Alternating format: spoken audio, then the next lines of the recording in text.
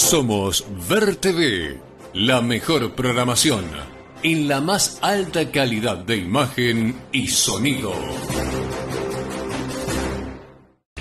Viví la noche del turismo en la ciudad.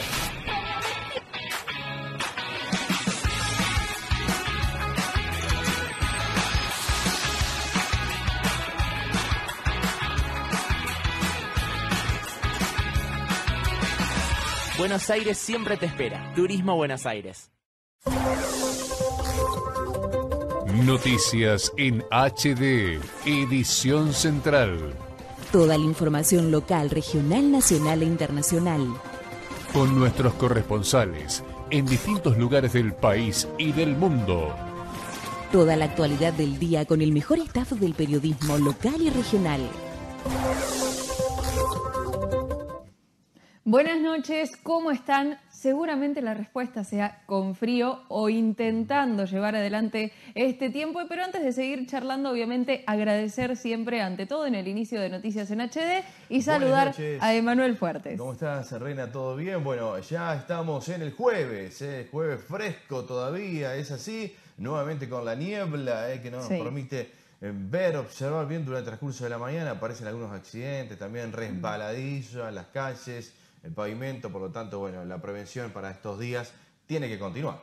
Exactamente, y desde ya continuamos también con el saludo, con el agradecimiento a ustedes que están del otro lado acompañándonos de alguna forma, sintonizando FM 93 a través de las distintas señales y servicios de cable, a través de la transmisión en vivo en Facebook o también con las distintas plataformas digitales en la página, en la aplicación del canal Ver TV Gracias por estar siempre junto al canal, a Noticias en HD y también gracias a nuestros compañeros que ¿eh? durante toda la jornada realizan sus tareas, sus deberes laborales para poder llegar a Noticias en HD y a quienes están ahora detrás de cámara especial y puntualmente a Fede en los controles y toda la asistencia y acompañamiento también de Eli. Así que avanzaremos hasta las 22 Emma y no queda otra, aunque tal vez nos dé más frío y escalofrío saberlo, vamos a tener que ir con él, si te parece. Vamos a tener que ir con el tiempo exactamente porque seguimos con temperaturas muy por debajo, que no estamos en grado bajo cero, pero muy fría se convierte la ciudad de Venado Tuerto. Hoy en el día del futbolista, que por ahí ellos con eh, jugar entran en calor, eh, con todo el entrenamiento y con partidos claves también, Herrera, ¿no? River Instituto 1 a 1. En el primer, el primer minuto, ¿eh? el primer minuto ahí del arranque, Rodríguez anotaba. Luego, el minuto 34, eh, llegaba también de la Cruz empatándolo. tiempo por ahora. Boca, Godoy Cruz, 21 eh, y 30, 21 más o menos por ahí. Comenzará también el partido. Eh, digo, el futbolista, un día también clave para ver a los grandes. Yo simplemente hago un paréntesis, como siempre, soy de Argentina. Entre la cucaracha, nuestro compañero que está en controles y usted, bueno, arréglense. River Boca. Bueno, los hemos ubicado los dos ahí, ¿no es cierto? Están los dos Sigamos con el tiempo, Vamos, por favor. 7 grados, la temperatura actual en la ciudad de Venado Tuerto, la sensación térmica 5 grados dos décimas, el cielo parcialmente nublado, la humedad de falta 5% para llegar al 100%, mucha humedad en la ciudad de Venado Tuerto, el viento del noreste a 9 kilómetros por hora. ¿Qué sucede? Ya viene el fin de semana, ya se proponen algunas actividades. El día viernes tendremos una temperatura de 5 grados, 19 grados, mayormente nublado durante el día viernes. Tenemos la presencia de la niebla nuevamente, se va a repetir este fenómeno por la mañana y tendremos 7 grados en el inicio de la jornada, 5 posteriormente, 19 y 13. Puede variar un poquito más, un poquito menos, pero relativamente es lo que se espera. Ayer esperábamos 7 grados para la noche y así lo estamos observando. Nos vamos al fin de semana que aumenta. ¿eh? Hablábamos de un inicio de invierno con temperaturas en ascenso. Un sábado, pero una mínima de 9 y ya máxima de 20. ¿eh? Cuando se esperaba para el domingo,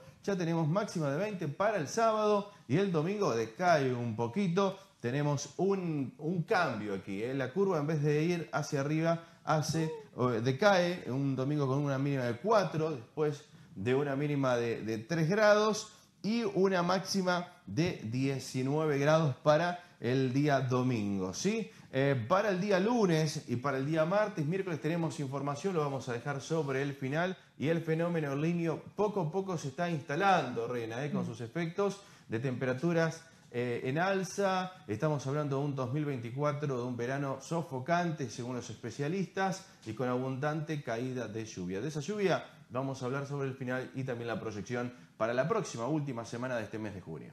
Estamos en invierno, así que obviamente vamos a tener todas estas cuestiones que el. Servicio Meteorológico, y gracias también Emma por compartirlo como cada noche, así que bueno, seguiremos atravesando todas estas cuestiones, ojalá que cada cual lo, pueda- lo podamos hacer de la mejor forma y como siempre también hay diferentes campañas que invitan a poder colaborar, a ayudar y desde allí centralizando y recibiendo las distintas donaciones, luego poder repartirlas. Hay muchísimas instituciones que trabajan, grupos de familias, de conocidos, de amigos, así que siempre de una forma u otra la ayuda está permanentemente activa, así que hay mucho también. Vamos a estar repasando algunos de los títulos que, por ejemplo, vamos a estar charlando con titulares integrantes de un comedor de la ciudad de Venado Tuerto que necesita ayuda, así que también vamos a enterarnos al respecto. Por otro lado, nos iremos hacia el Consejo Deliberante de la ciudad de Venado Tuerto con declaraciones de interés que, por un lado, destaca la labor de una reconocida profesora, bailarina,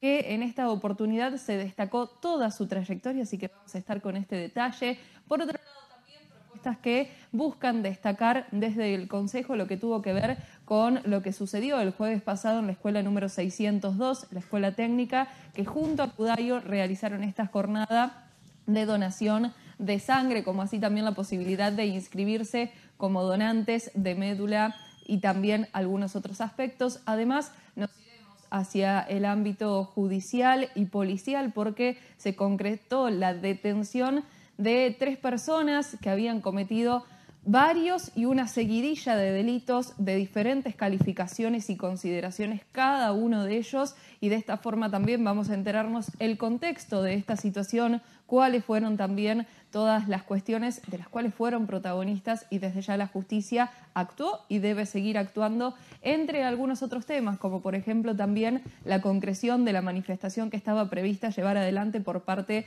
de los docentes agremiados en ANSAFE, por un lado apoyando la situación que acontece en la provincia de Jujuy, también aquí en nuestra provincia de Santa Fe, haciendo hincapié en lo que sucede en la ciudad de Rosario un repaso, un detalle de algunos de los títulos que luego iremos ampliando y contextualizando, porque ya mismo, como también tendremos hasta las 22 diferentes entrevistas en vivo, corresponsales, pero ahora vamos a ir con vos, Emma.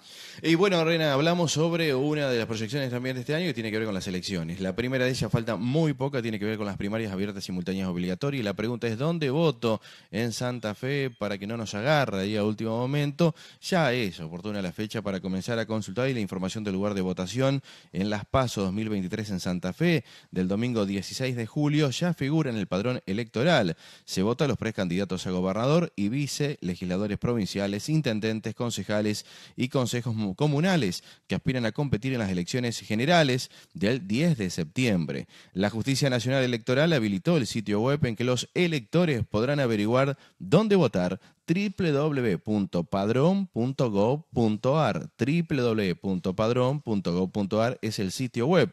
Allí obtienen el nombre y la dirección del establecimiento educativo en el que votan, el número de la mesa asignada para sufragar y el número de orden en el que están en el padrón electoral. Se recomienda concurrir a votar con esa información. ¿Por qué? Porque termina agilizando el trámite y reduce todas las demoras. ¿Es obligatorio votar? Sí, el voto es obligatorio. Quienes no concurran a votar van a tener que justificar por qué no lo hicieron.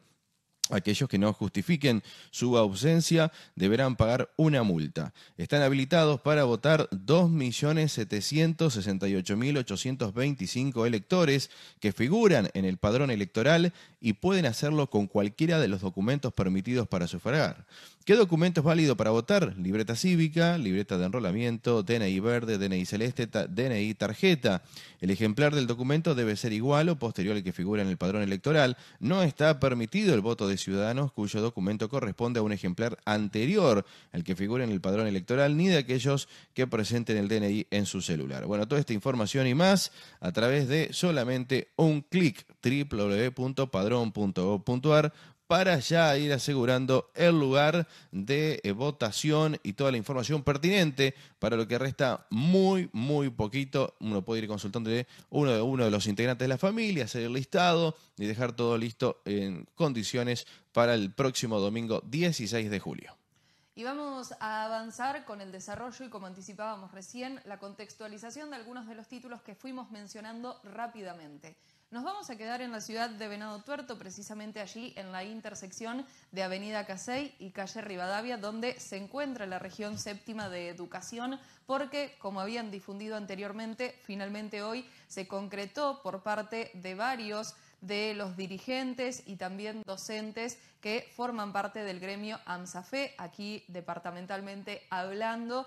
El objetivo en este caso, por un lado, fue la adhesión a, esta, a este paro nacional que promovieron desde CETERA, llevando a la paralización casi total de la actividad docente en toda la República Argentina. Y aquí, en la ciudad de Venado Tuerto, la manifestación desde ya tuvo que ver con esta adhesión, que hace hincapié en los hechos que están sucediendo en la provincia de Jujuy y por otro lado también destacaron desde la ciudad de Venado Tuerto, desde nuestra zona departamental, lo que sucede en los diferentes barrios de la ciudad de Rosario, aquí en nuestra provincia de Santa Fe, en relación a la violencia y a la inseguridad. Pero los datos, la contextualización de todas estas cuestiones, la manifestación, lo que buscan expresar, los trae Javier Delgado, delegado de AMSAFE.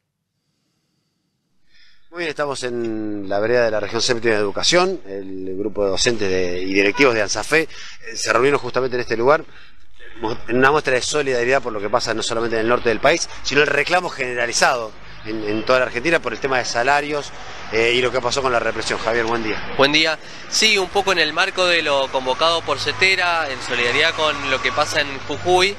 Eh, también se suma hoy una paralización casi completa de las actividades no solo docentes, sino también de muchos gremios más que se han solidarizado con lo que está pasando en gran parte de los barrios de Rosario. Es decir, que nosotros la semana pasada ya había, eh, de, había decidido un paro entre todos los sindicatos de Rosario para hoy, y bueno, por lo que pasó en Jujuy, después CETERA eh, propone este paro nacional que se está haciendo en todo el país. Y bueno, obviamente el acatamiento en otra provincia es del 100% en las escuelas públicas. Y ayer también nos contaban que en algunas escuelas de gestión privada de la ciudad... Que algunos se adhirieron, otros Por primera vez, eh, recordemos que siempre ha costado acá en, nuestra ciudad que las escuelas de gestión privada se adhieran a los paros, incluso cuando es por cuestiones salariales de nosotros, digamos, de la provincia. Así que bueno, esperando un poco para que cese la, la represión en Jujuy y de algún modo hubo mucho debate alrededor de, bueno, CETERA, cuando pasa algo en otras provincias, no tiene la misma reacción. Nosotros siempre hemos sido críticos de, de, de ese tipo de posiciones, pero hoy tenemos que estar acá eh, y lo que pasó en Jujuy es inadmisible, digamos.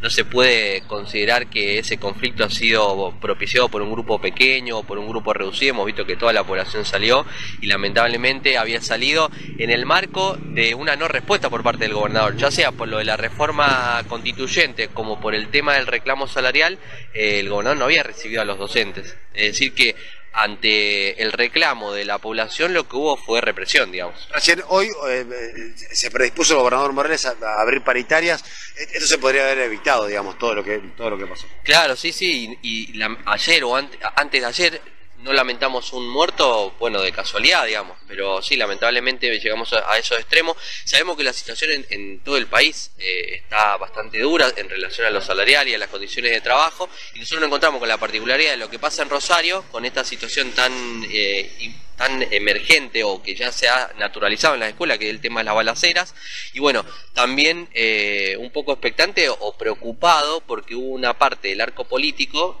que salió a respaldar esta acción represiva por parte del gobernador. Es decir, uno viendo en perspectiva esto, lo que teme es que las próximas respuestas de cualquiera de los gobiernos provinciales o nacionales sea esta. Esa es la preocupación que me parece que hay. Sabemos que hay muchos problemas, pero no puede ser que ante los reclamos de una parte importante de la población la respuesta sea la represión. Eh, hoy se conocieron algunos índices que tienen que ver con el tema de la pobreza, el tema de los salarios y cuánto tiene que ganar una familia como para no ser pobre y no ser indigente. Digamos, para comparar esto, que son 217 mil pesos en algún caso, casi 100 mil pesos en otro, eh, para que la gente lo sepa, digamos, cuánto es el salario con el cual arranca trabajando un docente. Bueno, claramente el docente ha quedado debajo de la línea de la pobreza digo, a pesar de estas actualizaciones que hemos tenido, nosotros hicimos un acuerdo salarial del 40% que ya estaría finalizando y sabemos que la inflación está por encima del 40% y estaríamos siendo convocados por el gobierno provincial para el 31 de julio recién. Entonces, bueno, nosotros ya claramente eh, veníamos debajo de la... Es decir, un maestro hoy está por debajo de la línea de la pobreza. Para poder eh, eh, llegar a fin de mes tiene que tomar doble trabajo o autoexplotarse o trabajar en varias escuelas para poder eh, completar su salario. Así que esa es la realidad. Sabemos que en otras provincias la situación es peor, pero bueno, me parece que hay que nivelar para arriba, no nivelar para abajo. Y, bueno, y la situación de Jujuy es alarmante en relación también a lo salarial. Si nosotros estamos por debajo de la línea de pobreza, ellos no llegan ni siquiera a la mitad de lo que sería una canasta básica. Sí, muy bien, seguimos con eh, más y en esta oportunidad sumamos ahora invitados a el piso de Noticias en HD, edición central. Siempre es un gusto recorrer la región y hoy lo vamos a hacer con María Teresa, porque allí está su presidente comunal, eh, Gonzalo Goyechea. Gracias por estar con nosotros, el gusto de saludarlo. Hola, buenas noches, la verdad es un gusto. ¿Cómo anda todo el equipo? Muy bien, con ganas de informar y conocer de cerca a través de, usted las diferentes, los diferentes impulsos, proyectos que van logrando en la comuna, que veo que el trabajo es a diario, ¿no es cierto? Generando siempre propuestas y en esta oportunidad un nuevo playón deportivo. ¿De, qué, características tiene? ¿De qué se trata? Sí, justamente en lo que nosotros eh, le llamamos en el, eh, dentro del plan Incluir Pueblo Viejo, hemos terminado un platón deportivo eh, con financiación, con fondos del Ministerio de Desarrollo de, Nación. Lo habíamos gestionado el año pasado y bueno.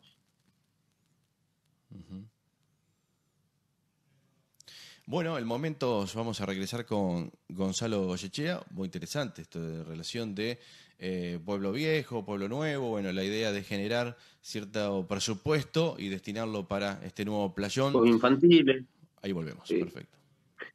Eh, en, ese, en ese sector hay juegos infantiles, hay un frontón peruano, eh, y, bueno, lo interesante para poner en, valor es una zona del, del pueblo viejo para quienes se ubican, quienes han venido a visitar María Teresa, está atrás de la cancha de de la cancha de fútbol del club esportivo. Y bueno, es un lugar donde nosotros elegimos ese barrio porque era dentro de todo el pueblo el que menos servicios tenía. Entonces, bueno, nos encontrábamos que tenía, eh, no, estaba bien el saneamiento, no tenía cordón cuneta, eh, las calles eran de, tierra, eh, tenía poca iluminación. Entonces, cuando salió el programa Incluir eh, de la provincia de Santa Fe, que hay que ponerlo en valor porque antes vino a reemplazar el plan ABRE que tenían gobiernos anteriores. El plan ABRE era para urbanizar solamente cuatro o cinco ciudades de la provincia de Santa Fe, entre ellas, obviamente las más importantes, entre ellas Rosario y Santa Fe. El gobernador Perotti lo que hizo con el plan incluir lo hizo extensivo a las 365 localidades de, la provincia. Bueno, nosotros elegimos urbanizar esta parte del pueblo. Entonces, y, hoy además se están construyendo 13 viviendas. Eh, así que bueno, tuvo una, eh, ese barrio, la verdad que repuntó un montón, cuenta con iluminación, cordón cuneta, consolidado de piedra, ese playón, eh, baños, baños públicos, eh, conectividad gratuita. Así que bueno, muy, muy, muy contentos estamos con esa obra. Gonzalo, buenas noches. Consultarte en este caso, ¿cómo proyectaron que esa sea la obra que era correcta para realizar en este momento, en ese lugar? ¿Fue por iniciativa propia? Tal vez hicieron una lectura de lo que sucede en lo cotidiano en ese barrio, se reunieron con los vecinos. ¿Cómo se fue dando la gestación de este proyecto? Mira, ese sector de nuestra zona urbana es un sector que se está poblando mucho. Hasta hace cinco o seis años era prácticamente un descampado. Se, lotearon eh, algunos terrenos.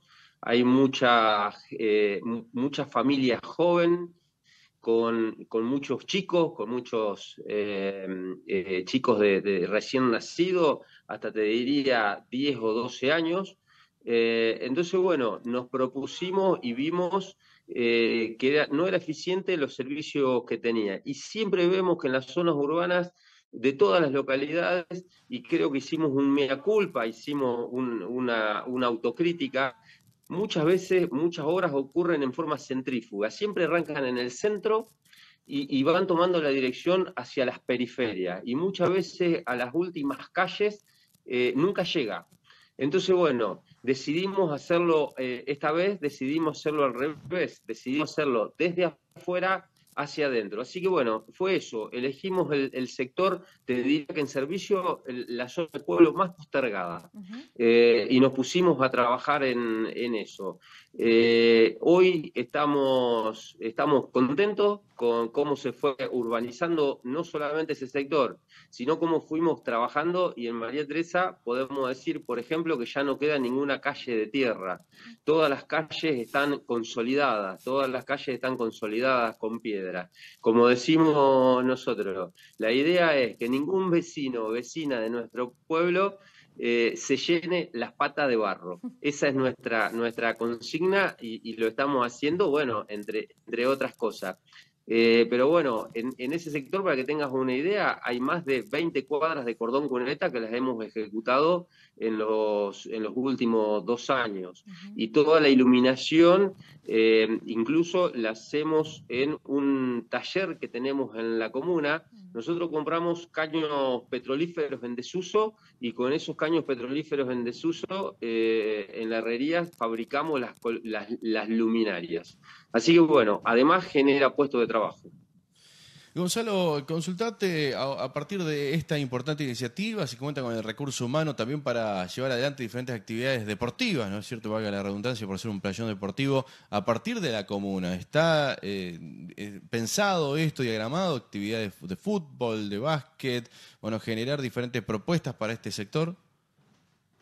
Mira, justamente en, María Teresa tenemos muchísimos espacios públicos. Tenemos siete espacios públicos para una localidad de 4.500 habitantes, siete plazas, siete espacios públicos, la verdad que es, significativo.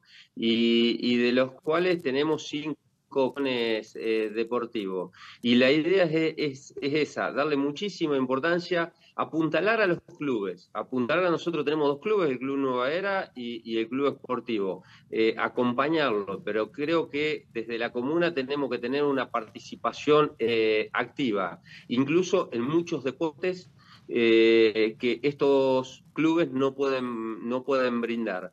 Entonces, no son solamente los playones deportivos, sino que tenemos diferentes talleres deportivos en los que tenemos profesores y profesoras que dan desde paleta, básquet, volei, eh, bochas, eh, no sé, hay, hay, hay un montón, ahora vamos a empezar con karate, hay un montón eh, de, disciplinas deportivas. Nos parece fundamental por todo lo que implica, en cuanto a salud, en cuanto a, todo lo que implica en lo social. Por otro lado, Gonzalo, preguntarte, hacías hincapié en el proyecto, en este programa al cual pudieron acceder y finalmente llevar adelante todas estas cuestiones. ¿Los fondos fueron totalmente por parte de otro nivel gubernamental o también los fondos económicos para esta inversión surgieron desde la comuna? Desde los tres estados, eh, desde el Estado Nacional, desde el Estado Provincial y desde el Estado Local. Del Estado Provincial por el plan Incluir del Estado eh, Nacional por eh, el Ministerio de Desarrollo. Del Estado provincial también, fortalecimiento urbano que tuvo participación y realidad provincial y que lo gestionamos durante, eh, durante mucho tiempo. Y, desde lo comunal, y también con, con, un aporte de los vecinos, porque muchas de estas obras, el cordón cuneta, la iluminación, los vecinos le buscamos siempre la forma, siempre el diálogo, siempre la, conversación, estas cosas surgen de charlas barriales que tenemos. Eh, los vecinos eh, pagan esa, mejora eh, desde el cordón cuneta hasta la iluminación, cada uno según sus características, cada uno según sus posibilidades. Pero la, la idea es esa, que esto se vaya retro, retroalimentando en forma permanente y que los vecinos y las vecinas que pagan esas obras permiten que en otro barrio ocurra exactamente lo mismo. A propósito de esto, en hablando, como bien hacías mención, de todos estos espacios verdes públicos, recuerdo que hace algún tiempo atrás charlábamos sobre la estación sustentable que se colocaba. ¿Siguen proyectando este tipo de obras para algún otro barrio o cuáles son esas demandas que por ahí ustedes van haciendo la lectura y que tal vez se están concretando o se pueden llegar a concretar? Mirá, en forma permanente estamos pensando en la urbanización del pueblo eh, y, vemos eh, eh, en, forma permanente hacia dónde se va extendiendo y cómo va creciendo. Claro. Nosotros en la calle 2 tenemos un barrio que de 20 viviendas que debe tener 3 o 4 años y siempre que hay un barrio nuevo hay un montón de, de- de chicos y de, y de chicas, pues generalmente los barrios son ocupados por familias eh, jóvenes. Entonces, bueno, si bien tenemos siete espacios verdes, vamos a tener una octava plaza que la estamos, que la estamos construyendo. Y esto tiene que ver también con un sentido de la, de la urbanización.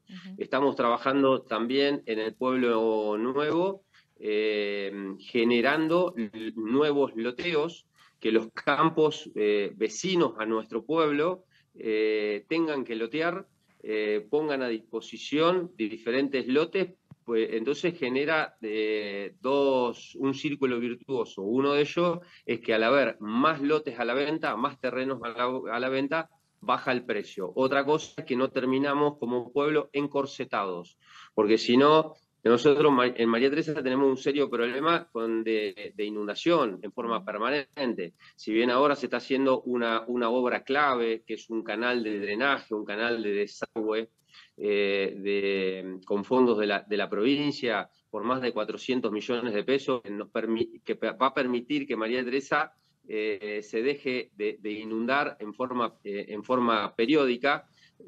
Bueno, la característica que tuvo María Teresa que siempre fue creciendo para donde pudo, para donde se podían ubicar. Entonces, ahora eh, lo que venimos trabajando junto con la UTN, hicimos un proyecto co- completo de urbanización para definir cómo tiene que crecer el pueblo y hacia dónde. Gonzalo, eh, también, bueno, consultarle en este marco de, elecciones, cómo, cómo está hoy la ciudadanía, cómo es el ánimo por parte de la gente. Eh, digo, ¿se puede trabajar normalmente o la mirada pasa por otro lado? Eh, ¿cómo- ¿Cuál es el sentir de la población que en, en definitiva termina siendo lo, lo más importante, no? Mira, en cuanto a las elecciones, yo planteo una cosa. Nosotros tenemos una característica en, María Teresa que no tenemos, eh, no tenemos lista opositora. Eh, somos una, la lista única, la nuestra, eh, o- mm, así como fue en el 2021. Eh, eso también a nosotros, bueno, nos compromete y nos, nos obliga a trabajar con una con mayor responsabilidad. Eh, y obviamente no escapa María Teresa eh, a cualquier otra sociedad. Nosotros vemos eh, que los vecinos y las vecinas, la verdad, que están muy desanimadas y muy cansados de la política, de la política en general. Eh, pero bueno, no, creemos, nosotros seguimos pensando que la política es la herramienta para cambiar la, realidad. Eh, y dada eh, esto que te digo, que no hay una, una lista opositora en nuestro pueblo, nosotros estamos trabajando para estos comicios, vamos, vamos a dar a, conocer nuestros candidatos provinciales, pero nosotros a nivel comunal no vamos a hacer campaña política, no vamos a hacer campaña política porque creemos de, de alguna, de alguna forma de que hay un montón de, de obras eh, que están a la vista y no queremos eh, atosigar, cansar. Eh, entonces, bueno, ese, ese, es el, ese es nuestro desafío, enfrentar las próximas elecciones sin una campaña política como es habitual. Gonzalo, le agradecemos por este contacto. Seguramente tendremos algún otro en- de forma futura. Muchas gracias. Muchísimas gracias a ustedes, le mando un fuerte abrazo. Allí estaba, eh, Gonzalo Chechea, desde María Teresa, actualizándonos eh, cuáles son los trabajos que están desarrollando en este, en este tiempo. Rena, regresamos con vos. Así es, vamos a seguir avanzando y en este caso vamos a cumplir como habíamos acordado con la primera tanda en noticias en HD. Encofir te brinda seguridad y confianza. Sabemos asesorarte y acompañarte cuando más lo necesitas. Emergencias médicas las 24 horas, traslados, visitas domiciliarias, enfermería y consultorio médico virtual. Con Encofir 100 te ofrecemos cobertura nacional e internacional. Cuidamos a tus hijos a través de nuestro servicio de pediatría y también te brindamos el 50% de descuento en farmacias. Contamos con cobertura para establecimientos y áreas protegidas. Para más información, ingresa a nuestras redes sociales o a www.emcofir.com.ar. Emcofir, una empresa que sabe lo que hace. porque prometimos seguir trabajando por la ciudad y hoy ves las obras frente a tu casa, porque nos propusimos avanzar y Rufino ya cambió, porque estamos potenciando la región sur de la provincia, porque confiaste en nosotros y nos acompañaste en cada logro. Sigamos transitando juntos este camino para que Rufino sea la ciudad que todos merecemos. Municipalidad Ciudad de Rufino, trabajando juntos. En Santa Fe hacemos mil y una obras. Hacemos obras esenciales para tu salud. Invertimos más de 33 mil millones de pesos en hospitales provinciales. Mejoramos el acceso a la salud en cada rincón de la provincia. Hacemos y no paramos de hacer mil y una obras. Hacemos Santa Fe. Frente a la pandemia, continuamos asegurando la protección sanitaria de la población. Bajo estrictos protocolos, seguimos trabajando para ofrecer el mejor servicio de agua potable a los hogares y espacios públicos de la ciudad, devolviendo al medio ambiente el agua consumida de manera segura. Cooperativa de Obras Sanitarias de Venado Tuerto. Al cuidado y servicio de todos. El universo Chevrolet está en Chevent, donde vas a encontrar toda la línea Chevrolet 0 kilómetro, junto a la postventa que tu auto necesita. Chevrolet en Venado Tuerto y Saladillo es Chevent, una empresa de Grupo Quijada. Ver TV, la mejor programación. Domingos a las 13, Gigantes de Acero. Ver TV, la programación que elige Venado y la región. Ver TV, la mejor programación. Domingos a las 22, la ruta del fútbol. Ver TV, la programación que elige Venado y la región. Soy Betina Florito y junto a Carolina Lozada y Dionisio Escarpín somos la verdadera opción del cambio para Santa Fe.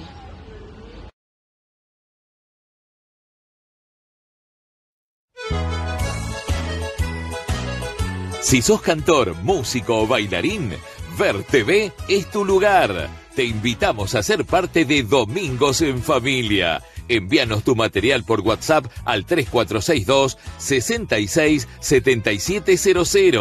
porque poner en valor a nuestros artistas es el principal objetivo.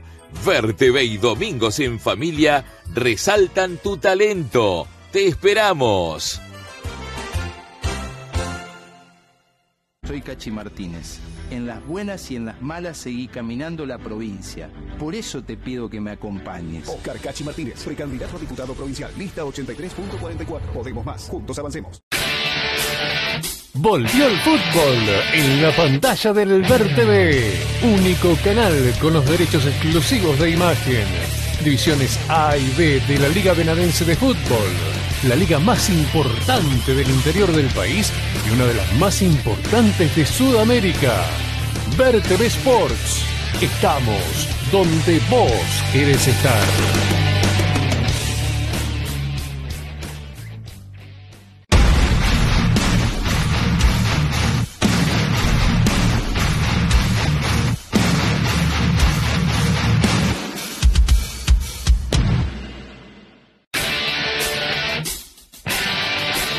Sábado, desde Rufino, el clásico de la fecha, vivilo por Verter Sport, Canal 98 de Venado Visión y toda la red de canales del Ver TV.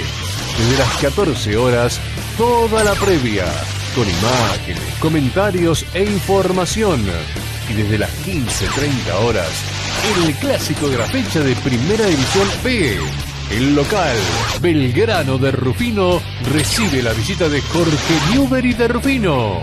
Viví la emoción del fútbol de la Liga Benadense por Ver Sports. Único canal con los derechos exclusivos de imagen. Necesitamos un lugar donde atendernos cerca de casa, las 24 horas del día para que la salud sea realmente un derecho de todos. No importa que no sea 29. Si querés llamar a la suerte, poné tu jugada de Kini más 1.500 millones. Kini más 1.500 millones. Sale sí o sí el 11 de junio y ya podés jugarlo. ¿Sabías que? El gobierno de Venado Tuerto avanza con el plan de pavimentación de calles. En estos días se pavimentó sobre Dorrego entre Quintana y Vélez Arfil. Tus impuestos vuelven en obras. Gobierno de Venado Tuerto. Solicitamos la actualización de billetera Santa Fe a 12.500 pesos, ajustable según los niveles de inflación, y que sea ley, para que no dependa de la voluntad de un gobierno de turno. También pedimos que se excluya del beneficio a los funcionarios de alto rango, para que ese dinero sea destinado a incrementar la devolución a jubilados y pensionados, que son quienes más lo necesitan. Oscar Martínez, diputado de Santa Fe. Ley de prisión preventiva por portación o uso ilegal de armas de fuego en la comisión de un delito. El 85% de los homicidios que se han cometido en la provincia ha sido con el uso de armas y las más de 1.600 balaceras que ha tenido Rosario tiene que ver con esta problemática. Adhiero profundamente a este proyecto y es un tema no menor de todos los temas que hoy estamos tratando en el contexto que tiene la provincia de Santa Fe. Logramos media sanción. Queremos que sea ley. Oscar Martínez, diputado de Santa Fe. Ver TV, la mejor programación. Lunes a viernes a las 8, Desayuno Express. A las 9, la segunda mañana. 12.30, Picada de Noticias. Ver TV, la programación que elige Venado y la región. Como diputado trabajé mucho para conseguir la ley de víctimas de delito y si seguimos trabajando volveremos a ser una provincia segura.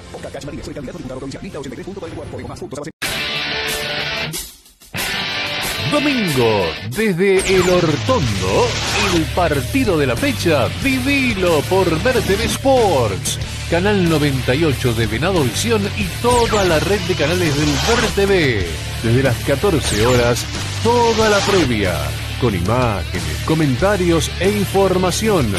Y desde las 15.30 horas, el partido de la fecha de Primera División A. El local, Atlético El Hortondo, recibe la visita de Teodelina. Viví la emoción del fútbol de la Liga Venadense por Ver TV Sports, único canal con los derechos exclusivos de imagen. Cobrar tu sueldo está muy bueno. Cobrarlo en Credicop mucho más. Elegí cobrar tu sueldo en Credicop. Elegí los mejores beneficios. Banco Credicop Cooperativo. La banca solidaria.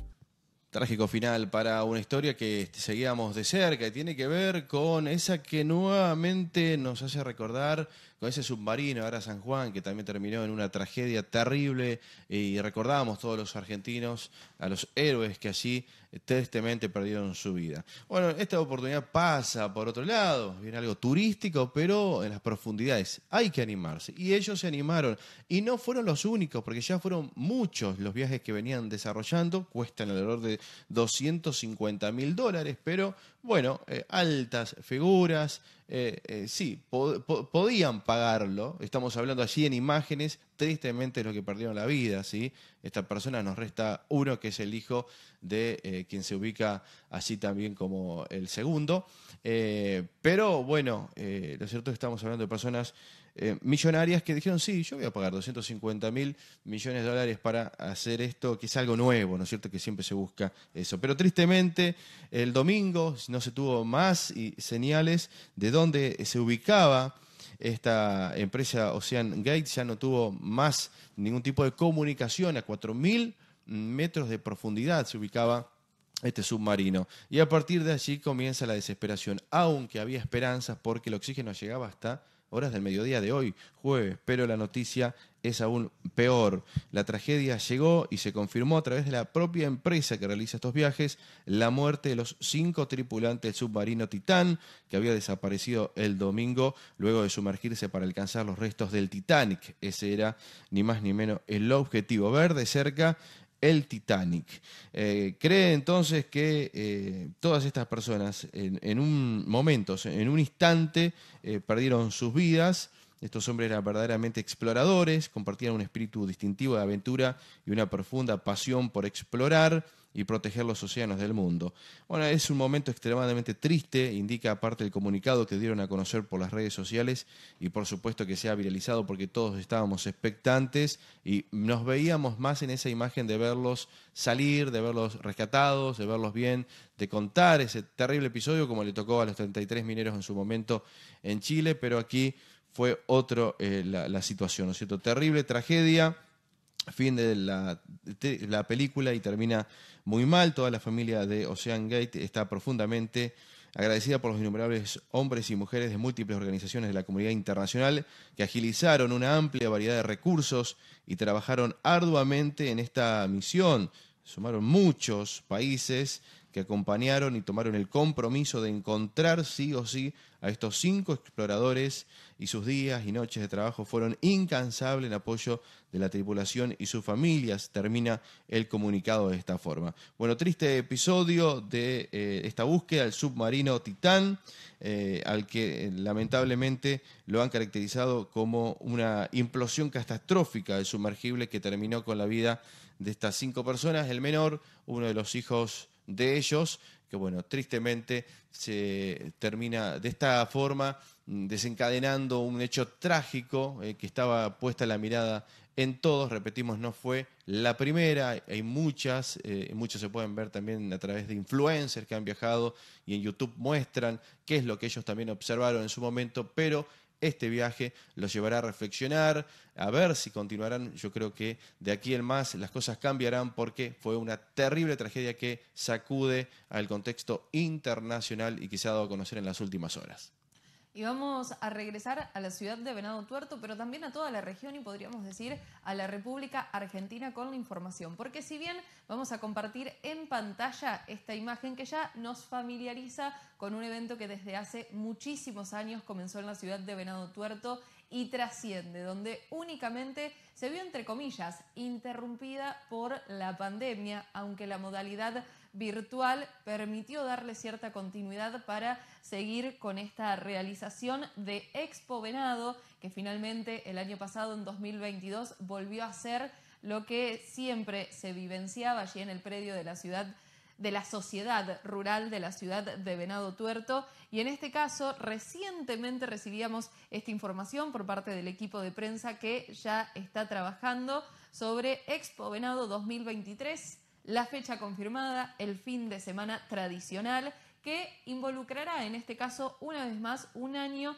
con una edición de cuatro días, comenzando el viernes 18, continuando el sábado 19, domingo 20 y haciendo el cierre final el lunes 21 de agosto. Y precisamente el lanzamiento de Expo Venado 2023 será el próximo lunes 26 de junio alrededor de las 10 de la mañana en el Salón Capizano, así que la invitación a la prensa para poder difundir ya se ha realizado. Desde ya el Ver TV, como cada año, estará presente, así que seguramente la semana próxima, el mismo lunes, durante toda la jornada y también en Noticias en HD, te estaremos contando sobre los detalles de Expo Venado 2023, que ya está confirmada la fecha, que es un fin de semana habitual que ya tiene conquistado y que se hace presente Expo Venado 2023. Así que este anticipo queríamos compartir con ustedes y desde ya será un tema que también de ahora en más seguiremos de cerca, como así también durante este fin de semana específico. Hablamos ahora de los buzones de la vida. Una nueva apertura se concretó hoy, la tercera del año 2023. Allí estuvimos presentes. La secretaria de Control Urbano y Convivencia Social va a detallar las características y cantidad de los mismos. Cada dos meses se da esta posibilidad de abrir cada uno de esos buzones que se ubican y se desplazan en diferentes zonas y barrios de la ciudad de Venado Tuerto en base a temas como narcotráfico y trata de personas. Voy a charlar con Silvia Rocha porque acaban de, abrir los buzones de la vía, que, es tan importante, este mecanismo que logró el gobierno de Venado Tuerto, que después, bueno, tiene que ver con la intervención de Fiscalía también. sí, buenos días, ¿cómo están? Eh, sí, como cada dos, cada dos meses lo venimos haciendo, casi fuimos un relojito, se cumplieron dos meses de la última apertura, bueno, hemos terminado de abrir los buzones nuevamente. Eh, y hemos recolectado 37 posibles denuncias que ahora ya fueron ensobradas. Ustedes son partícipes del proceso y ven que lo hacemos con, con mucha transparencia y ahora todas estas denuncias se pusieron en un sobre y van a ser llevadas directamente a Fiscalía Federal. Sí, nuevamente el, el buzón de la vida de, de la municipalidad, del Palacio Municipal de San Martín de Marconi, es el que más tuvo. Sí, siempre el buzón del palacio o de la municipalidad, como gusta decirle, eh, decirle a mí, es el que más tiene, ¿no? Siempre es el que más recolecta sobres. En esta ocasión, eh, recordemos que se sumó de la última apertura un nuevo buzón, que es en el Consejo Municipal, que tuvo un sobre. Pero sí, siempre es el que más tiene, habría que ver, por ahí la gente quizás lo tome como un lugar más neutral, eh, por ahí esto de la privacidad y no, si yo pertenezco a un barrio y hay un buzón en un barrio, quizás no quiero ir y que alguien me vea introducir. Siempre tratamos de que los buzones estén en lugares que sean como privados, más privados, ¿no? Mantener esa privacidad. Pero por ahí uno de un barrio decide ir a colocar un sobre a otro lugar, ¿no? Para mantener esta cuestión, sobre todo el anonimato. Silvia, ¿se ven los resultados y esto impulsa más al vecino para Yo creo que lo que ha tenido el buzón ha tenido un auge eh, interesante como una herramienta que el vecino tiene, eh, una herramienta cercana, sobre todo aquel vecino que no quiere ir a hacer una denuncia formal. Sabemos que en todo el tema de lo que tiene que ver con drogas, con narcotráfico, genera mucho temor. Entonces es una herramienta que verdaderamente tiene un sentido, es significativa para el vecino porque yo sé de algo, tengo datos, entonces, bueno, tengo esta posibilidad de escribirlos, ponerlos en el buzón y saber que eso llega a Fiscalía Federal. No solo que llega, sino que sabemos, porque a lo largo de este año ha habido eh, resultados de causas que se iniciaron y que se empezaron a investigar a raíz de estas denuncias, o que quizás algunas de estas denuncias dieron aportes más interesantes que pudieron dar eh, con personas que después terminaron incluso con allanamientos, presas. Entonces me parece que termina siendo una herramienta confiable. Y hoy es necesario que sea confiable y sobre todo que mantenga esta cuestión del anonimato, ¿no? donde el vecino no quede expuesto y tenga eh, la posibilidad de eh, introducir algo y, y poder decir lo que sabe. Y de alguna forma vamos a seguir de cerca con estos temas, pero en este caso puntual sobre tres personas, tres delincuentes que fueron apresados y en este caso sin plazo específico, pero que quedaron desde ya a disposición de la justicia por cometer diferentes hechos que tienen diferentes calificaciones, incluso al parecer todos ellos concretados en el barrio Villa Casey de la ciudad de Venado Tuerto, donde según una serie de investigaciones que venía llevando adelante o coordinando el fiscal Iván Raposo, hasta la propia abuela de estas tres personas habría sido víctima de sus nietos. En este caso se trata de tres personas, al parecer dos de ellos son hermanos, la tercera persona en cuestión es un primo. De esta forma habrían cometido diferentes hechos, desde hurtos, amenazas en la vía pública, como así también el ingreso de forma violenta a diferentes, a algunas viviendas y una seguidilla de cuestiones que en este caso el fiscal Horacio Pueyrredón va a traer el detalle de esta cuestión de lo sucedido aquí en Venado Tuerto con estos hechos delictivos y las tres personas que hasta el momento fueron, en este caso, presas. Bien, voy a charlar con el doctor eh, Horacio Porredón, eh, porque hubo algunos detenidos dentro de los hechos que se dieron durante el fin de semana largo, justamente, y que tenía que ver con eh, personas del barrio Villa Casay. Quería conocer si tenían antecedentes y por qué se dieron estos hechos. Doctor, ¿cómo le va? Buen día. Buenos días. Sí, puntualmente nosotros podemos dar con la aprehensión de un sujeto que venía siendo buscado por la Fiscalía por hechos de robo calificado y de hurto en la vía pública eh, en zona del barrio Villa Casey. Ambos hechos se habían dado en zona del barrio Villa Casey. La investigación la venía llevando adelante el doctor Raposo, ya tenía dos personas detenidas con prisión preventiva en esa causa, una participación de un menor de edad que había estado puesto a disposición de la justicia de menores y el día viernes eh, por el accionar de comisaría segunda, un trabajo mm, previo y demás, pudieron dar con eh, el tercer sujeto mayor de edad y cuarto integrante, si se quiere, de este grupo de personas que estaban dedicadas básicamente a cometer ilícitos en esa zona. Eh, y pudimos detenerlo, llevarlo a audiencia imputativa y a audiencia de prisión preventiva en los días del fin de semana, que se fueron dando en los distintos días, fue un fin de semana largo. Quedó preso preventivo este sujeto. Eh, sin plazo.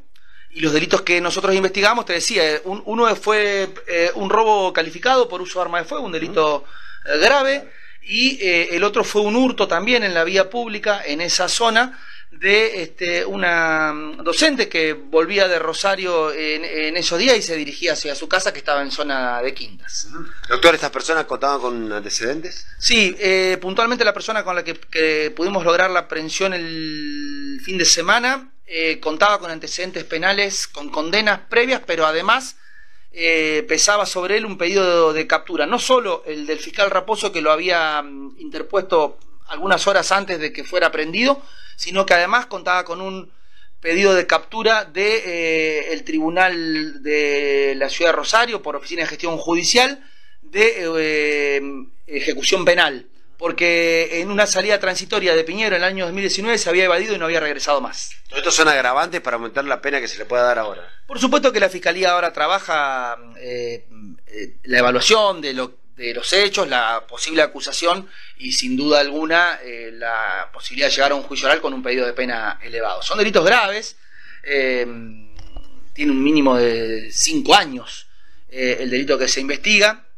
Así que este, el robo fue cometido en banda, en poblado en banda, con arma, con arma de fuego que no hemos podido, no es habida, no la hemos podido encontrar, aún habiendo realizado eh, una multiplicidad de allanamientos en domicilios distintos, pero además eh, se utilizó otra arma que no era de fuego, pero es un arma blanca, una cuchilla tipo carnicero, lo que también agrava esa figura penal, la utilización del arma. Eh, ¿Estas personas trabajaban en- entre sí? ¿Era un- una banda delictiva, se puede decir? Son un, básicamente un grupo familiar. Eh, nosotros habíamos tenido una reunión en el barrio Villa Casey hacía un tiempo, nos hicimos presentes como Ministerio Público de la Acusación para escuchar también de alguna manera eh, el reclamo de la sociedad en ese sentido, entendiendo, por supuesto, que eh, el Ministerio Público es parte de la solución del problema de la inseguridad. Esta es la concepción que nosotros tenemos del Ministerio Público en la persecución penal. En ese sentido asistimos a esa reunión, nos manifestó esta gente la preocupación que tenía en el barrio, que era puntualmente y focalizada en un sector de viviendas donde este, habita esta gente. Sector de viviendas que nosotros ya habíamos allanado con anterioridad por otros hechos, puntualmente en uno de esos domicilios habíamos secuestrado en su momento y, y recuperado las famosas dos piletas de fibra de vidrio que se habían robado Desde un lugar en la ruta. Exactamente, también en el barrio Villa Casey y a pocas cuadras de este, el domicilio donde las terminamos hallando, que fue en el patio de una de esas viviendas.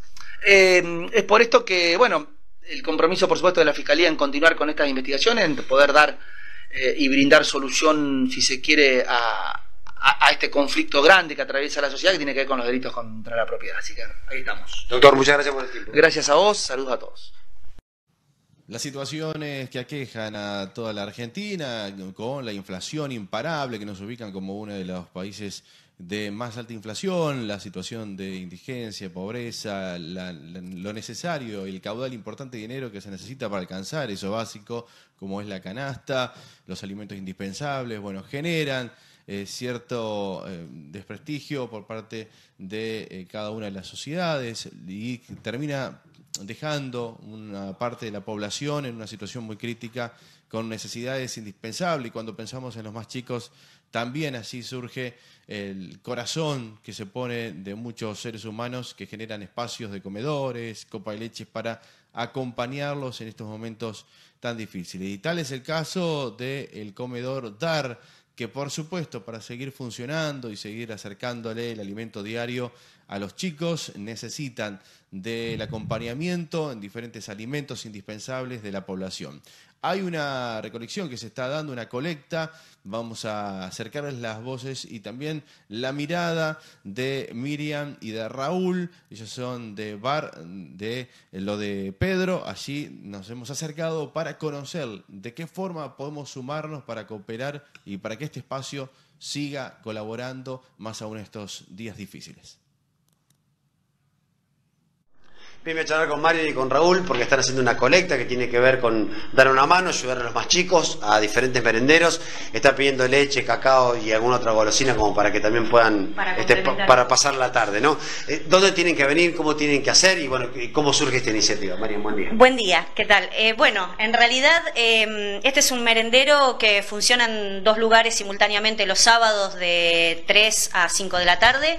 Nosotros vimos la publicación de, de una de nuestras clientas y decidimos poder compartirlo, darle más visibilidad, impulsarlo, que la gente se engancha. Sabemos que el venadense es muy solidario.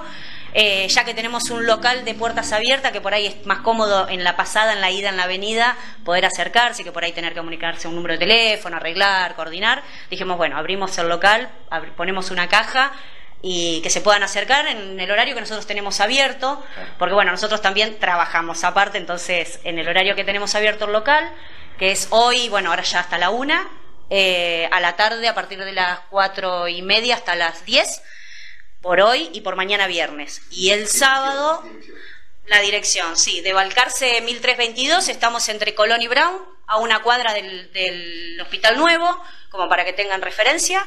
Y el sábado vamos a estar hasta el mediodía, porque el merendero lo necesita para este fin de semana. Entonces, bueno, como ellos arrancan a las 3, la idea es decir, bueno, juntamos hasta la una, una y media que cerramos. Y pasa Lorena, que es quien está dirigiendo estos dos merenderos, a, a buscar todas las cosas que podamos recaudar. Ya pasó gente, gracias a Dios, así que bueno, súper agradecidos con todos los que fueron aportando de a poquito. Sí, está bueno esto de, de- de mirar para el costado porque parece que las cosas pasan en el centro de la ciudad o en la zona más urbana, pero cuando uno camina en los barrios por ahí hay diferentes necesidades. Eh, sí, la verdad que nosotros lo, lo- lo hacemos eh, realmente para los niños que son lo que realmente ellos hoy necesitan y bueno, poner un poquito de un granito de arena a cada uno suma. Entonces bueno, eh, está buena esta iniciativa y ayudar a lo que realmente le hace un poco de falta, nada más. Sí, y, y- y que en verdad es una vez, eh, una vez cada tanto, digamos que, que- que como que no alcanza, ¿no? Sí, no, no, no, no. Entonces la idea es poder eh, ayudar, ayudar siempre en lo que podamos. Bueno, acá estamos. Eh, hoy hablaba con la cliente que comparte este, este flyer, entonces yo le decía, yo sé que la necesidad está todos los días, pero bueno, las indicaciones fueron juntar hasta el sábado, la idea es que después se sientan en la libertad todo el año de venir a acercar, ya sea para ellos o bueno, después por ahí sabemos de la necesidad de algún otro y poder distribuirlo. La idea es nada, tener un lugar para que la gente se acerque, que coopere, porque bueno, como decía Raúl, un granito de arena suma un montón cuando son muchos granitos de arena. Entonces, bueno, la idea es poder, desde ese lugar, cuando hay tanta necesidad, eh, sobre todo con los chicos, que son los más vulnerables, eh, en toda la periferia de lo que es Venado, porque sí, está muy bueno un montón de iniciativas y de propuestas que hay, que se lanzan desde el municipio, pero no alcanza, no alcanza porque son muchísimos, y bueno, si podemos ayudar, bienvenido sea, y si podemos... eh, llamar a que ayuden, a que colaboren, porque bueno, hoy estamos acá y mañana no sabemos, entonces está bueno poder dar una mano siempre que se puede, desde el corazón.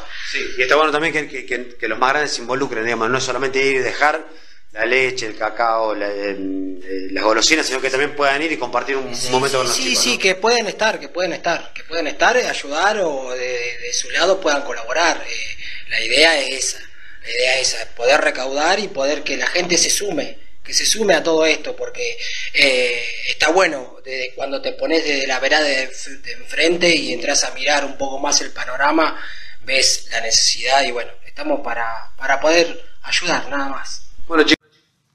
Y vamos a seguir avanzando luego de esta entrevista, que justamente detrás de cámara repasábamos con Emma que este bar, lo de Pedro, allí tal vez vale remarcarlo, era el objetivo y hace algún tiempo nos lo contaba Fiorella Bogino que ella forma parte de la asociación Honrar la Vida, Honrar la Vida.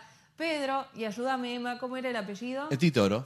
Pedro, Di Toro. Di Toro, bueno, especialmente él atravesó un proceso de cáncer, formó Mm. parte de la asociación Honrar la Vida y muy superficialmente por la historia que nos ha contado Fiorella, su objetivo era poder devolverle de alguna forma o ayudar a honrar la vida con la ayuda que él había recibido para poder llevar de alguna u otra manera ese momento de salud que atravesó. Y es así que finalmente familiares de él abrieron este bar que se escribe bar como el fútbol, pero hace también referencia a un bar donde se puede ir a, a tomar café, a desayunar, comprar comida y todo lo que vos consumas en este bar, lo de Pedro que está en Balcarce entre Colón y Brown, un porcentaje se destina y lo donan hacia la asociación Honrar la Vida. Y por otro lado también a tener en cuenta que es un bar que está abierto y ellos reciben sin obligación de tener que consumir algo, algo pero aquellos pacientes, sean de venado tuerto o tal vez que llegan de la región, para poder hacer sus diferentes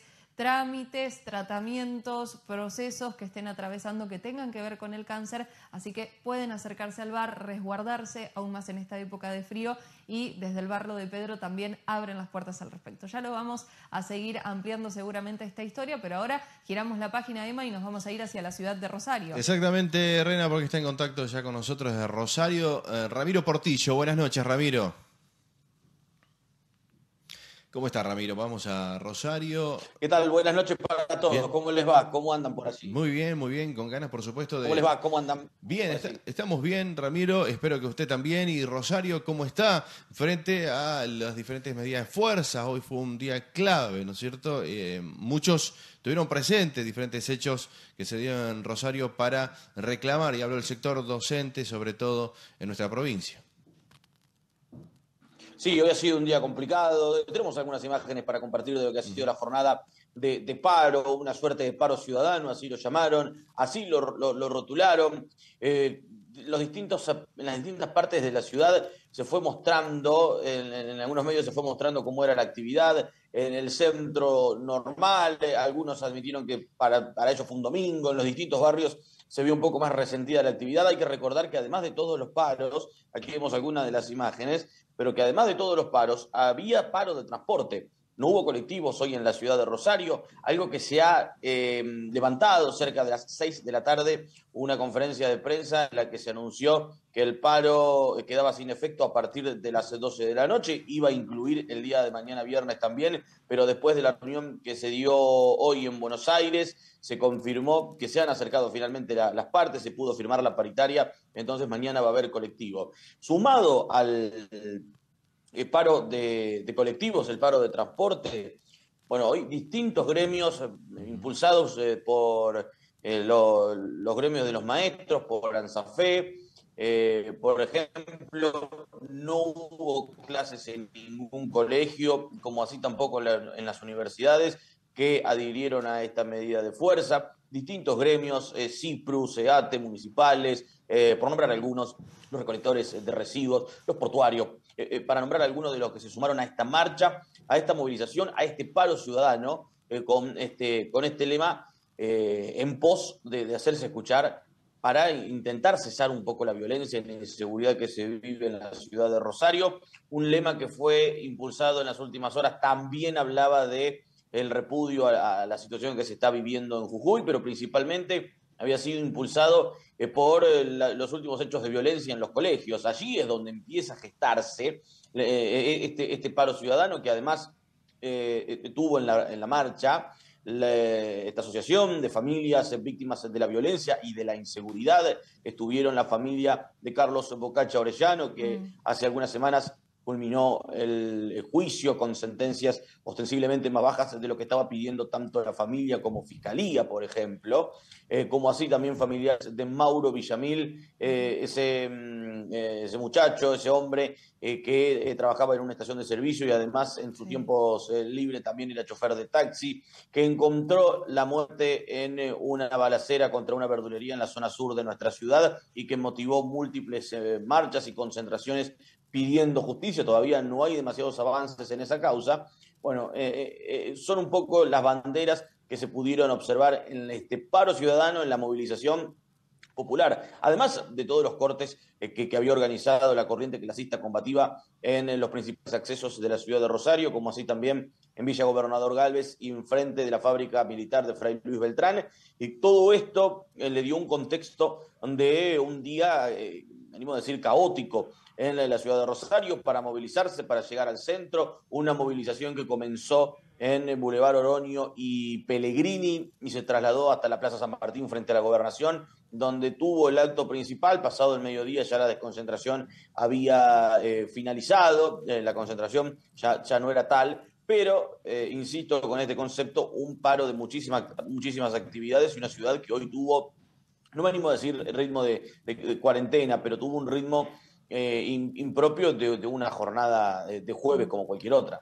Ramiro, en este caso también veíamos expresiones de un pedido Rosario por la paz, también este lema que realmente es explícito en la solicitud y donde también participaron, como vos bien describías y detallabas, muchísimas agrupaciones, obviamente también la presencia de algunos políticos, exfuncionarios, actuales funcionarios, aprovechando también quizás este contexto, pero ante tan masiva movilización, ¿hubo algún comunicado desde alguna institución gubernamental oficial, desde alguna persona que en esta actualidad tenga algún cargo, algún rol, eh, en este caso eh, político? Yo, no, me ha llegado a mí ningún comunicado de, ninguna parte que, na- que nadie se haya expresado. Sí, se han continuado con la, eh, con la cotidianeidad de las actividades, este, aquellos que se dedican a la seguridad. Bueno, ayer eh, o antes de ayer tuvo una reunión esta semana el ministro de Seguridad de la provincia, Claudio Brilloni, con eh, distintos ediles. eh, además, se juntó con algunos de los eh, precandidatos en una mesa con los precandidatos de cara a las próximas eh, elecciones aquí en la provincia de Santa Fe, pero no algo puntual por, por esta marcha. Ajá. Bien, y en este caso así que al fin y al cabo queda por parte de la comunidad, de la sociedad, seguir expresándose, que tal vez esto no se venía viendo, pero realmente el hartazgo o lo que toca vivir en el día a día llega a un punto que queda esta herramienta para intentar visibilizarlo. ¿Cómo lo vivencian ustedes desde la ciudad de Rosario? ¿Notan que se despliegan algunas herramientas o que al fin y al cabo, bueno, sucede y ya? Bueno, aquí ya se había empezado a sentir algunos síntomas eh, cuando ocurrió el caso de Mauro Villamil, uno de los últimos casos más emblemáticos, eh, víctimas de la, de la eh, violencia, eh, víctimas de esta última modalidad este, tan terrible de ya no un ajuste de cuenta propiamente dicho, sino llegar a una esquina y disparar contra todo, todo, lo- todo lo que haya en ella, eh, porque se, que se comprobó y quedó establecido que nada tenía Mauro Villamil eh, que ver con eh, la- las organizaciones que aquí, eh, con asociaciones criminales, eh, bajo ningún punto de vista, ni él ni su familia. Eh, entonces, allí es donde se comienza de alguna manera a hablar de paro ciudadano, eh, incluso en los dos barrios, uno en el que él residía y otro donde él se desempeñaba, tanto en estación de servicio como manejando el taxi en sus tiempos libres, habían decretado un día de paro, una media jornada de paro, un- un- barrio que prácticamente no tuvo actividad durante un día. Ahí se comienza con este síntoma de paro ciudadano. Después, cuando vimos las escenas terribles de violencia contra las escuelas en los distintos barrios, en los distintos puntos de nuestra ciudad, hay un día clave que es que se reúnen después de la primera medida de fuerza con el gobernador de la provincia, como así también con el ministro de Seguridad, y al otro día, a las muy pocas horas, vuelven a atacar un colegio que es donde se fija esta, esta jornada, hoy jueves eh, 22, como eh, una nueva jornada de, de, medida de fuerza y de movilización. Allí es donde distintos gremios empiezan a sumarse. Eh, los docentes públicos y privados se le sumaron los universitarios, se le sumaron los portuarios, eh, se le sumó ATE, se le sumó Ciprus, etcétera, municipales, una gran cantidad de gremios en la jornada de hoy, y como si algo faltaba para coronar una jornada, reitero, de paro absoluto, eh, la medida de fuerza eh, por parte de, de la UTA, que incluyó no solamente la ciudad de Rosario, sino otras ciudades eh, de- del país, como si le faltara alguna, algún marco a toda esta medida de fuerza. En cuestión de, en, pos de contrarrestar, contrarrestar todo esto, no se ven las eh, distintas acciones que las que venimos contando. Sí, ha habido eh, allanamientos que se van conociendo, operativos, como les dicen, operativos de saturación, pero Nada eh, nada, eh, los, números, los números implican que no. Es más, tenemos que, que hablar de un nuevo fallecido en el día de hoy, hace algunas horas en la ciudad de Rosario. Entonces, los números estarían diciendo que por ahora la- la, las acciones no, no alcanzan para dar vuelta el complejo panorama que se vive. Ramiro, hasta, algunos eh, allanamientos confusos, ¿no es cierto? Que en vez de ayudar, terminan, eh, bueno, eh, aquejando a muchos vecinos, complicando más la situación.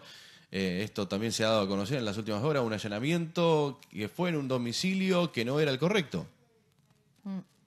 Sí, esto, esto ocurrió en Ayacucho del 2200.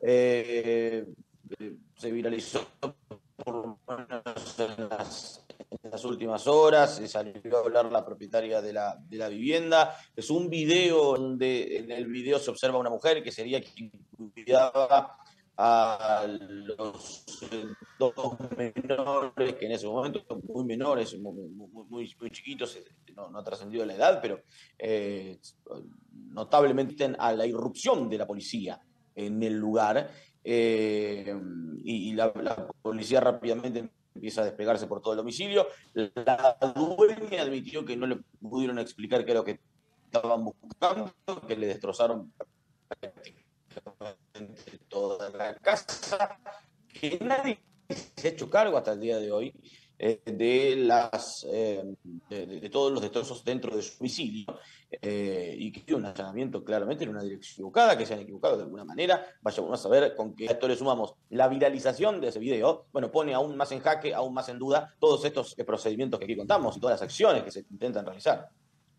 Ramiro, por otro lado, preguntarte si hay algún otro tema allí que tengas en agenda para poder repasar.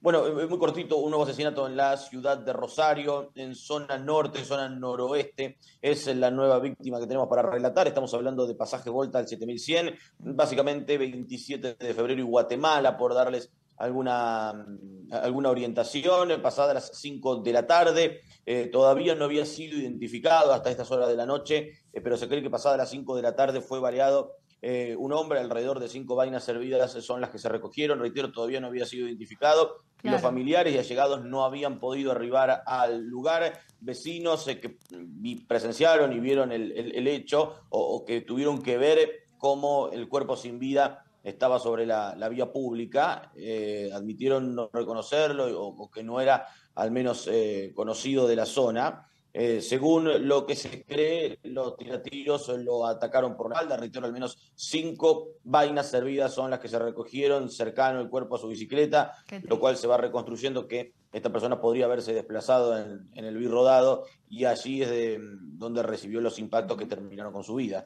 Ramiro, aprovecho a preguntarte también para intentar respirar algún otro aire rosarino, porque como siempre decimos, es una ciudad hermosa que permite un montón de posibilidades estudiantiles, turísticas, y así podríamos seguir enumerando, que muchas veces también el temor, el miedo, obviamente, paralizan o generan eh, no elegir Rosario por diferentes motivos o a quienes están allí trasladarse, pero cómo se ha vivido el 20 de junio allí en la ciudad de Rosario con el tradicional monumento que está presente aquí en nuestra provincia de Santa Fe.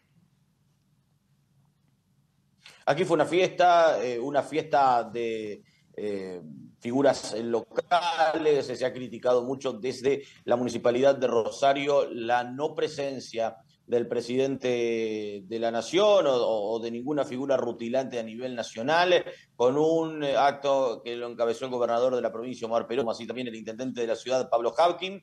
Eh, se realizó el tradicional eh, acto frente al Monumento Nacional a la Bandera. También el- una suerte de sorteo de asado, de asado criollo, Mm. eh, si no me equivoco, la segunda edición del mismo, mucho público. Hubo algún momento de eh, tensión porque se quis- que, mm, quisieron ingresar este, ¿Qué autos eh, a caballo. eh, como es tradicional para hacer el desfile, encontraron la negativa de la policía, ante la insistencia de los gauchos hubo algún momento de represión eh, y, de, y de tensión en unas imágenes que de a poco, si se quiere, eh, empañaron un tanto la fiesta que significa para Rosario el 20, el 20 de junio, pero con eh, una gran cantidad de público, con muchísima gente, eh, con un día que, es- si me permiten, se prestaba, con una temperatura mucho más linda que, que en algunos Mm. otros años que recuerdo, y con esta particularidad de este mm, evento, este concurso de ah, asado, asado criollo, donde la gente podía acercarse, eh, comprar la, la- la porción y, y- y- y probarla y permanecer durante toda la jornada, además de distintos artistas, algunos artistas locales que eh, se desplegaron por el escenario, todo esto en el Monumento Nacional a la Bandera. Bien, Ramiro, te agradecemos mucho y como siempre también, bueno, la ciudad de Rosario ofreciendo una gran variedad de propuestas musicales, artísticas, tanto en el ámbito público como también privado, iniciativas de estos programas también que, que surgen, como así también desde lo teatral, así que vale salvaguardar también todas estas cuestiones que la ciudad de Rosario sigue siendo escenario y gracias a vos por traernos siempre la información con los detalles y contextualizando los diferentes hechos. Un abrazo para todos, buenas noches, que estén bien. Nosotros vamos a girar la página y desde Venado Tuerto vamos a repasar el tiempo, Emma. Es así, Reina, nos vamos hacia afuera y por supuesto que eh, la proyección también está para las vacaciones de invierno, eh, porque esto me hacías recordar con esta última y muy buena pregunta sobre el Día de la Bandera en Rosario. Eh, porque eh, comenzará el 17 de julio de allí en adelante. Y bueno, la pregunta es, ¿cómo estará? ¿No es cierto? El 17 al 28 de julio ya lo vamos a ir indicando para ver qué se puede hacer. 8 grados la temperatura actual en Venado Tuerto. Sensación térmica 6 grados 4 décimas, 96% la humedad, el viento del noreste a 9 kilómetros por hora. Para el viernes, una mínima de 5 grados, máxima de 19, mucha presencia del viento del norte, rotando el sudoeste para la noche del viernes. Vamos a tener la niebla nuevamente durante el transcurso de la mañana, que nos permitirá ver nada, ¿eh? así que a circular con precaución. El fin de semana, el sábado mínima de 9, máxima de 20, mayormente viento del sur para el sábado y el domingo, viento del sudeste por la mañana y luego ya rotando hacia la noche mm, por viento del norte. 4 de mínima, máxima de 19 próxima semana y la última de junio, mínimas de 7 a 9 grados, máximas de 19 17 a 20 grados. Y ahora finalmente vamos con el repaso de las farmacias de turno en la ciudad de Venado Tuerto. Farmacia del Cueto, ubicada en Maipú y la Valle. También está de turno Farmacia Escalada, situada en Marconi 142. Farmacia Botamblein, en Estrugamoy y Brau. Y ahora sí, nosotros vamos a ponerle punto final a esta edición y ahora ya va a llegar finalmente. Lo voy a hacer a mi compañero de, de control que venga a hablar aquí al aire. Sí, sí. eh, En- Sucede algo, Reina. eh, está bien, vamos a decírselo sobre el final. Lo que era primero un 1 a 0 de instituto, después fue un 1 a 1 y terminó un 3 a 1 para River. Así Si que sigue hablando lo voy a poner acá con el, con el auricular en el Sí, si micrófono quiere y tal vez venga algo con el vestuario de rojo y blanco, no hay ningún problema. Y ahora está jugando Boca, ¿eh? Boca también. Bueno. veremos. Aguanta Argentina, Aguanta felicidades Argentina. para River No si es sube. que ha ganado, lo mejor para quienes seas de, de Boca, creo que está jugando contra Godoy Cruz y demás. Nosotros vamos a despedirnos y te proponemos desde el Ver TV que vivas la música con máxima energía en el marco de este jueves que para muchos será la puerta a un viernes que significará tal vez el inicio ya de un nuevo fin de semana, Emma. Eh, ya estábamos allí mañana, entonces todas las actividades para proyectarse, para vivir un gran penúltimo fin de semana de junio. Muchas gracias a ustedes y gracias a cada uno de nuestros compañeros. Sigue la programación del Ver TV en vivo, continúa permanentemente la ampliación en Facebook e Instagram de mucha información, entrevistas. Mañana desde las 20.30 cerramos una semana más aquí en Noticias en. Gracias a todos, buenas noches. Una producción de Multimedio GS.